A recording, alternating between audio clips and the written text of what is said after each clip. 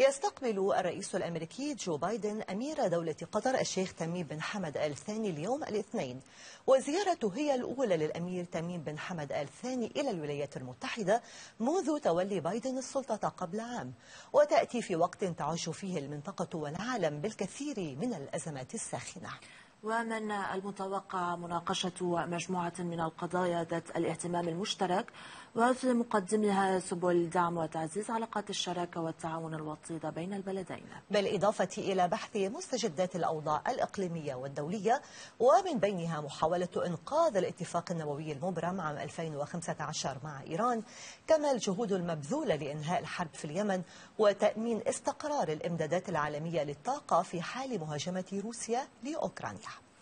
للحديث عن أهمية هذه الزيارة ودلالاتها وانعكاساتها على المستويين الإقليمي والدولي ينضم إلينا مدير وحدة تحليل السياسات في المركز العربي للأبحاث ودراسة السياسات دكتور مروان قبلان. أهلا بك دكتور مروان. صباح الخير شكرا على الاستضافة. بداية ما هي الملفات التي تتصدر أجندة هذه الزيارة والتي تتأثر بطبيعة الحال بتوقيت الزيارة؟ يعني كما أشرت هناك أربع ملفات أساسية يعني تتصدر جدول هذه آه، الزيارة.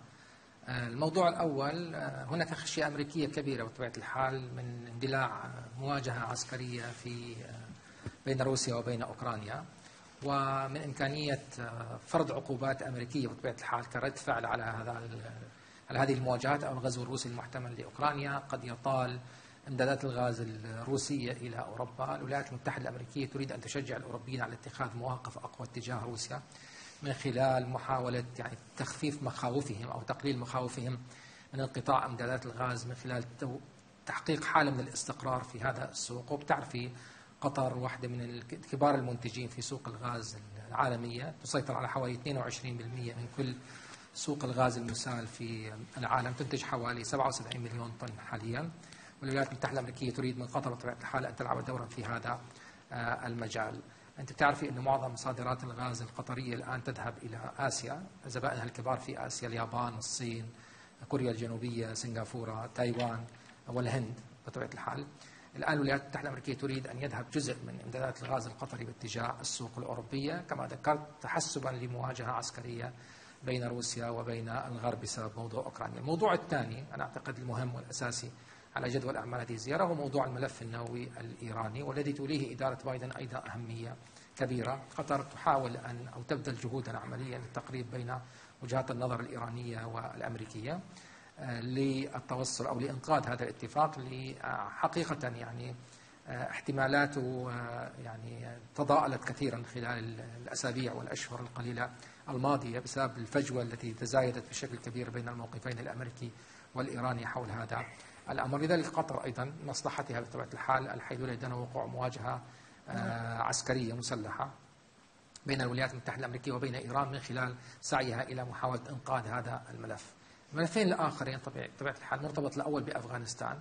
تعرفي أن قطر الآن هي التي تدير المصالح الأمريكية في أفغانستان.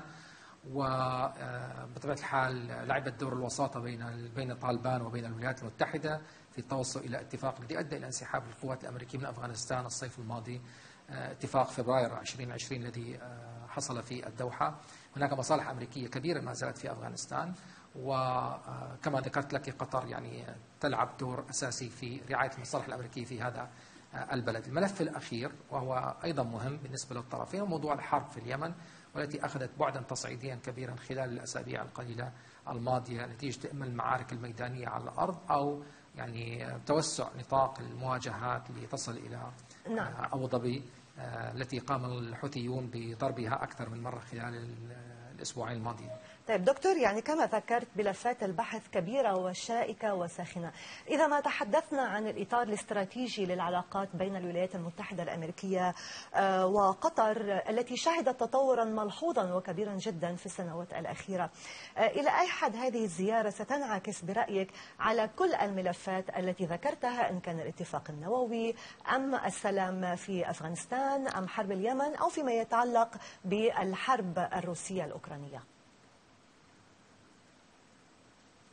نعم كما تفضلت يعني قطر تحولت خلال السنوات القليلة الماضية إلى شريك استراتيجي للولايات المتحدة الأمريكية في عدد كبير من الملفات التي تعني التي تعني الولايات المتحدة في المنطقة وفي العالم. تحدثنا بطبيعة الحال عن أفغانستان وندرك جميعا أهمية وحجم الدور الذي لعبته قطر في إجلاء الرعايا الغربيين والأفغان الذين يحملون يعني أذنات سفر لدول مختلفة خلال أزمة إجلاء القوات الأمريكية والرعاية الأمريكية من أفغانستان آه، الصيف الماضي. وقطر كانت الشريك الأساسي للولايات المتحدة الأمريكية في هذا آه، المضمار.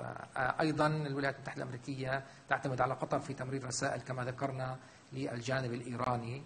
لتسهيل إعادة إحياء الاتفاق النووي وهذا موضوع توليه إدارة بايدن أهمية كبرى لأنه فشل هذه المفاوضات قد يؤدي فعلا إلى اندلاع مواجهة عسكرية لا تريدها الولايات المتحدة الأمريكية مع إيران وكذلك إيران لا تريدها وقطر لا تريدها بطبيعة الحال لأنه آه، سوف تكون المنطقة هي ساحة لها وسوف يعني تضع المنطقة في أتون مواجهة وحرب جديدة يعني نحن في غنى عنها آه، بطبيعة الحال. الملفات الأخرى يعني أنا سبق وذكرتها هذا بيعزز الاعتماد الأمريكي على على قطر خاصة أن الولايات المتحدة الأمريكية الآن يعني هي وقطر هما اللاعبان الكبيران وأستراليا بطبيعة الحال هما اللاعبين الثلاثة الأكبر في سوق الغاز المسال في العالم.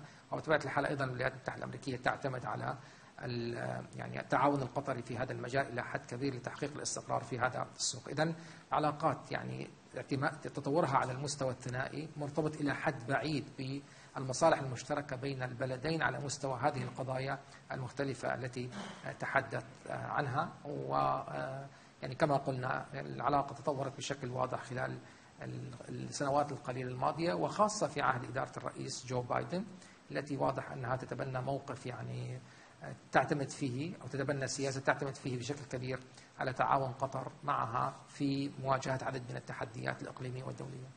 طيب دكتور مروان تحدثنا بشكل كبير عن آه، التعاون السياسي والامني والاستراتيجي بين البلدين ولكن التعاون الاقتصادي بين آه، قطر والولايات المتحدة يوازي التعاون آه، السياسي أيضا.